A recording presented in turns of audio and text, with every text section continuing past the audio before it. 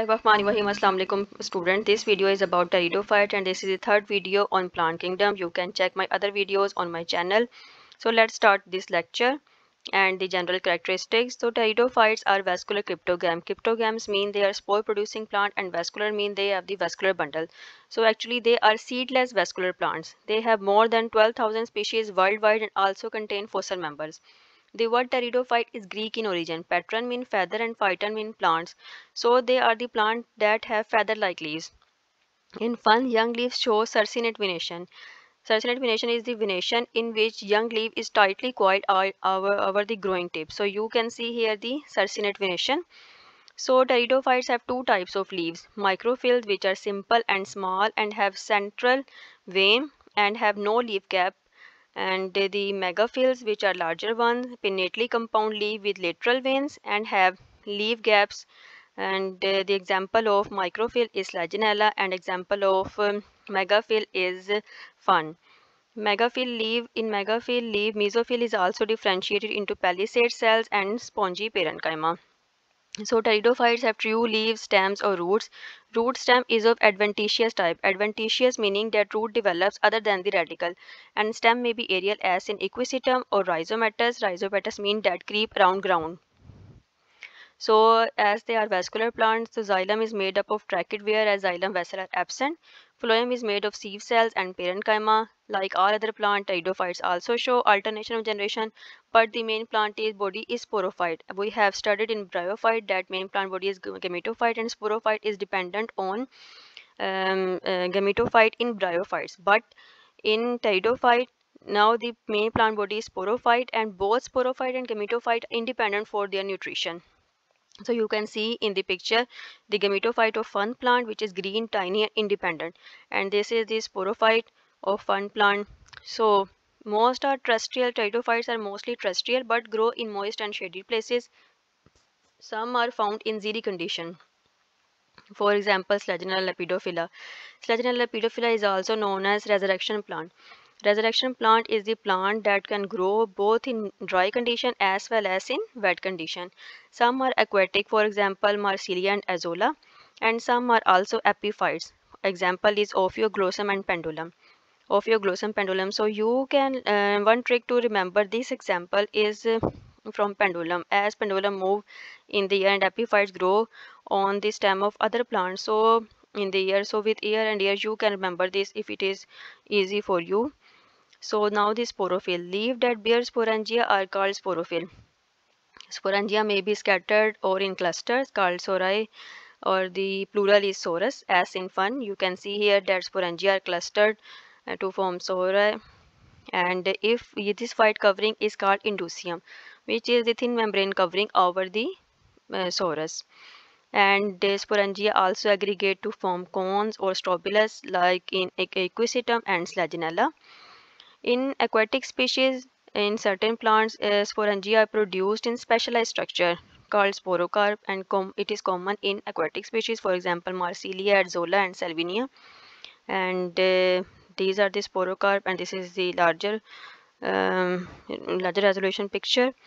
So pteridophytes have two types of spores, homospore or heterospore. The plants may be homosporous if it is producing only one type of spore and uh, if the plant is producing two types of spores then it is heterosporous. Selaginella and salvinia produce two kinds of spores. Macrospores are the larger ones and microspores are the smaller one. So you can see here the microspores which are smaller in size and this is the microsporangium and this is the megasporangium this one is megasporangium having larger size spore and this is the high resolution picture of microsporangium showing microspores which are smaller in size and this is the megasporangium showing megaspore. So the heterospory is one of the most important characteristic that is leading towards the evolution of seed habit. Mega and microsporon germination give rise to female and male gametophyte. Male sex organ is known as antheridia and female sex organ is known as archegonia. Antheridia are sessile or shortly stalked and surrounded by sterile jackets. Whereas Archegonia, this is the high resolution picture of Archegonia. It has two parts, neck and venter. So now we will discuss the life cycle of one plant. The main plant body is sporophyte, which is diploid and the cluster of sporangia are present underside of the leaf. These uh, spores are produced in sporangia through meiosis. So these are any number or haploid. These spores on germination give rise to gametophyte.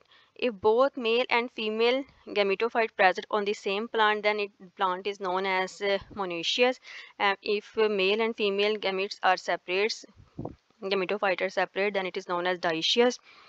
And heterosporous species are always dioecious so the uh, sperms and or antherozoid swim towards the um, female gametophyte archegonium uh, mucilaginous secretion are present in the neck of um, archegonium which attract antherozoids on fertilization. Zygote develops which is diploid and uh, and this zygote develops into new sporophyte and the cycle goes on so now the classification. Pteridophytes are classified into four classes. Psilophyta, Lycophyta, Sphenophyta and Pterophyta.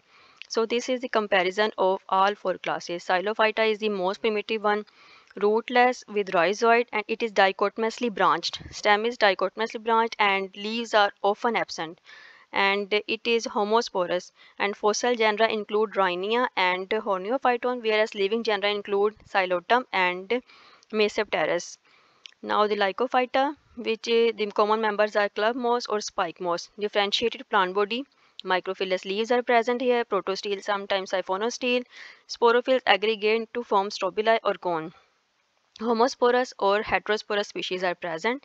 And now this Sphenophyta, uh, the common member is horsetail. All are fossils except equisetum.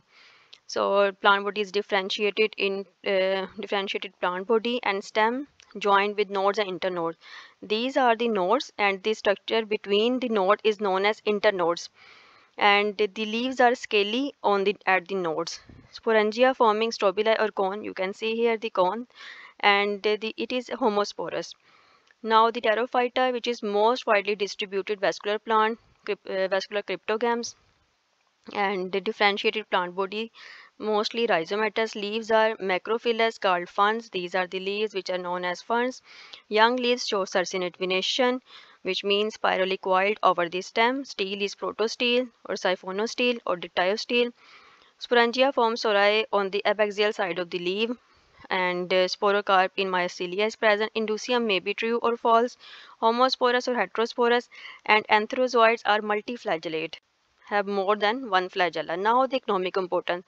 Some ferns are used uh, to prepare the medicine for treatments of ulcer, intestinal infection or various other ailments. And rhizomes or stems are used as food in various parts of the world. Ferns are popular horticultural plants and used in landscaping. Azolla have the ability to fix atmospheric nitrogen and are used as fertilizer in rice paddies. Ferns have been used in the removal of heavy metal from the soil and Salvinia molestes is one of the world's most aquatic weeds. So this was all about the pteridophyte. If you like this video then please like and subscribe. Thank you.